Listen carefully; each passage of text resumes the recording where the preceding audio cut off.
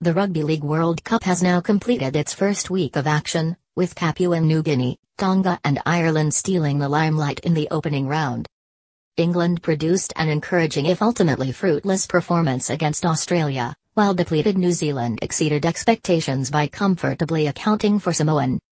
But outside the big three, the real excitement surrounded Pacific nations PNG, Fiji and Tonga, who all impressed in one-sided wins.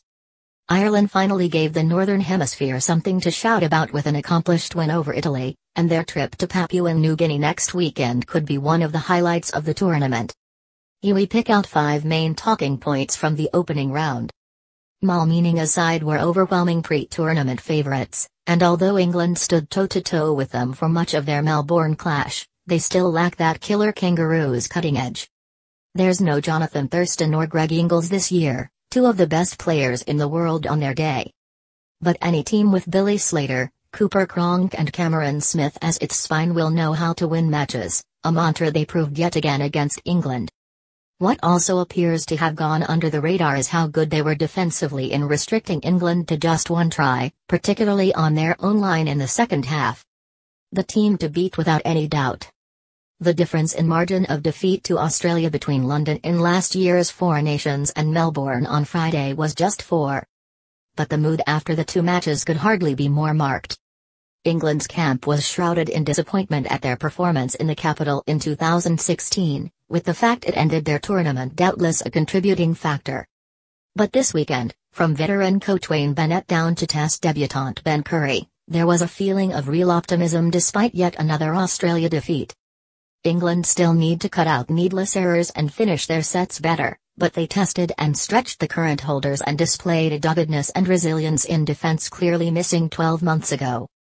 With star forward Sam Burgess missing over half the game through injury and impact prop Alex Walmsley all of it with a virus, there's plenty of room for improvement should the teams meet again. There's no doubt what were the best scenes of the opening weekend, the sellout crowd in Port Moresby provided a thrilling backdrop for PNG's 56 demolition of Wales. This is the only country in the world where rugby league is the national sport, and it shows. Enthusiasm and passion seeped out of the packed stands, and the noise that greeted every touch from Castleford-bound Garry Lo every time he touched the ball was breathtaking.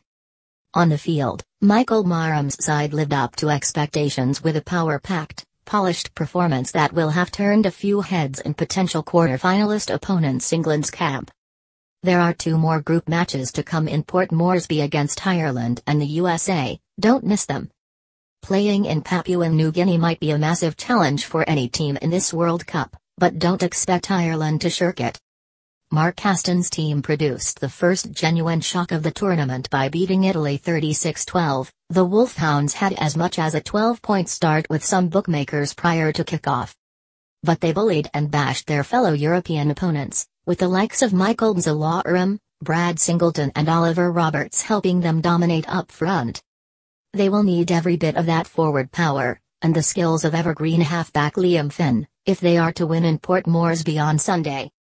But Finn himself says that the Irish forwards fear no one, and they will have an advantage over Wales in that the searing heat of Cairns will have acclimatized them for PNG. It could be the clash of the group stages. Generally speaking it was a tough weekend for Northern Hemisphere teams.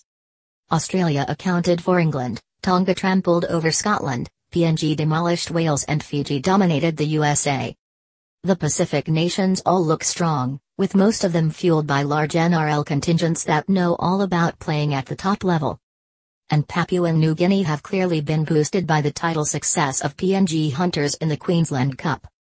Scotland and Wales in particular are missing key figures and it's shown, it won't be easy for them to turn the tide next weekend against New Zealand and Fiji respectively.